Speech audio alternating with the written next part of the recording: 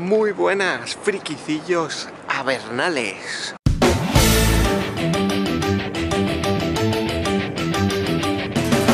Hoy estamos paseando por calles un poco más de ciudad, comparadas con la última vez que eran un poco más en un pueblecillo más mono, ¿no?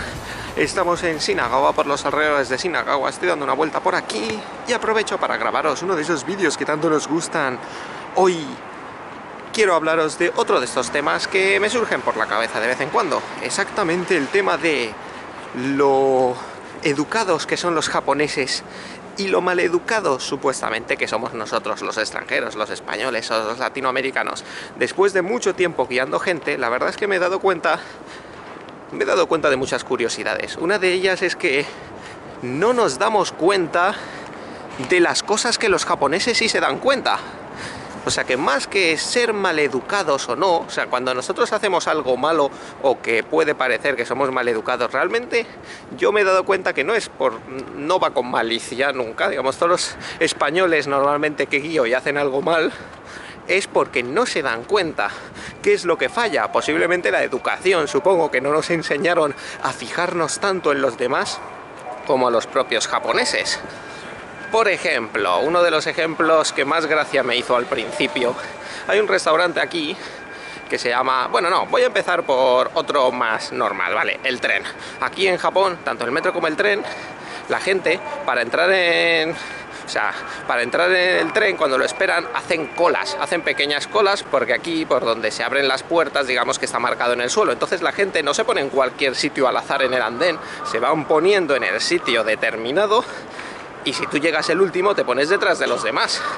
¿Qué pasa? Que en España eso no se hace. En España tú llegas, da igual que llegues el último y que hay un montón de gente esperando, si te puedes poner el primero mejor, ¿no? ¿Verdad? Pues en Japón no. ¿Qué pasa cuando un español llega aquí? Pues que ni se da cuenta de eso. O sea, no es con malicia, no es con astucia de, oh, me voy a colar, voy a ser primero. No, es que ni siquiera se dan cuenta. Pues me ha pasado muchas veces que cuando se lo comento dicen, no, es verdad, pues mira, llevamos dos días que no nos habíamos ni dado cuenta. Nosotros llegamos a la vía, o sea, se ponen a mirar, yo que sé a dónde miran, pero no se fijan que hay gente haciendo colas en la vía, sino que se ponen en el primer sitio que pillan. Vale, ese ejemplo es el bueno, el ejemplo que realmente me hizo pensar en haceros esto. Hay un restaurante aquí que se llama Sharky's, que es un restaurante de pizzas, de buffet libre de pizzas. Digo ese como ejemplo porque es donde yo más lo he visto, pero bueno, en cualquier buffet yo creo que pasa lo mismo. ¿Qué pasa en España? Seguro que si os digo que hagáis cola para coger vuestra pizza o el buffet libre, ni se os pasa por la cabeza, ¿no? Ahí yo he ido a muchos buffets en España y era el primero que llega, tú coges tu plato y te pones ahí en el primer sitio que pilles y coges la comida. En Japón no, la gente también hace cola.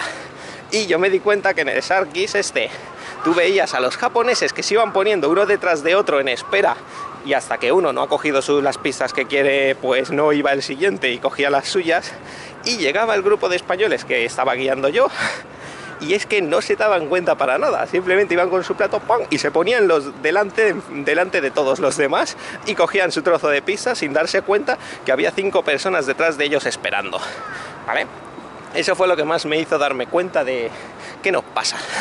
¿Por qué no miramos a nuestro alrededor? ¿Por qué no, te das cuenta que hay cinco personas esperando? Ya digo, luego yo se lo comentaba a ellos y ellos se quedaban como, hostia, pues no me había dado cuenta para nada. O sea, no es malicia, es que no nos han enseñado a mirar a nuestro alrededor. Eso es lo que pienso yo cuando he visto estos pequeños detalles. Otro ejemplo bastante básico y normal que se ve a menudo es pararnos, pararnos en medio de la calle de repente. Digamos que los españoles, estoy diciendo todo el rato españoles porque soy español, ¿eh? pero supongo que los latinoamericanos serán más o menos igual. Los españoles no nos damos cuenta de que nuestra presencia molesta.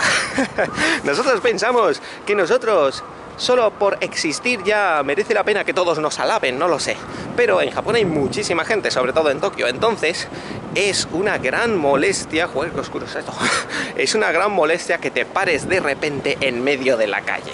Aquí en Japón si vas por calles muy concurridas, que de repente tú te quedes parado, simplemente ya pararte, vas a tener gente detrás a la que vas a molestar, van a tener que parar, van a tener que esquivar, Y más aún, simplemente pararte, estar, estar parado en medio de la calle hablando con un amigo o algo. En Japón jamás verás a dos personas en medio total de la calle hablando. Siempre se van a apartar, se van a quedar en un lado.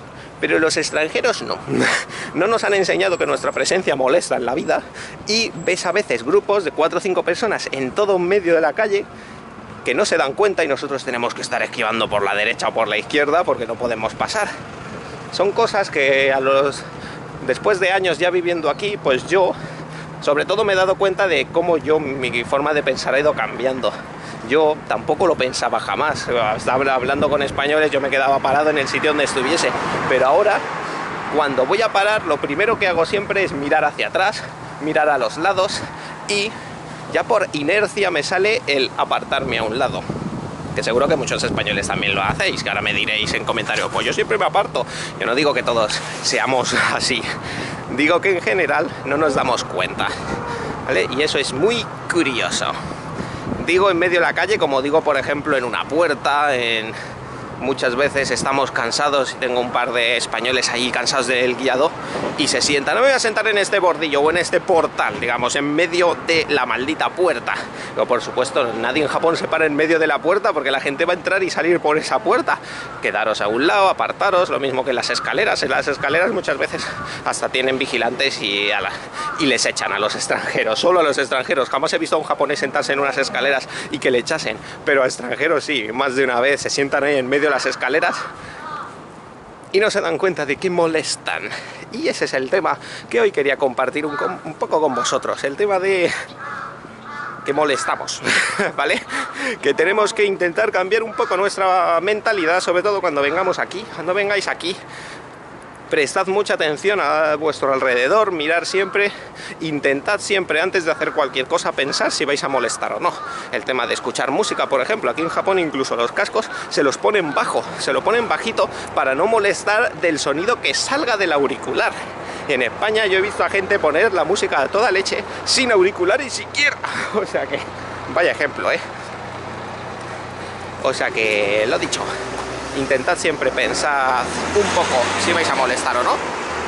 Y podréis disfrutar de Japón y así los japoneses dirán, coño, este extranjero sí que es un hombre verdaderamente educado, una mujer. No es un maldito gaijin que ha venido aquí a molestar. Eso es todo, nos vemos en el siguiente, bye bye.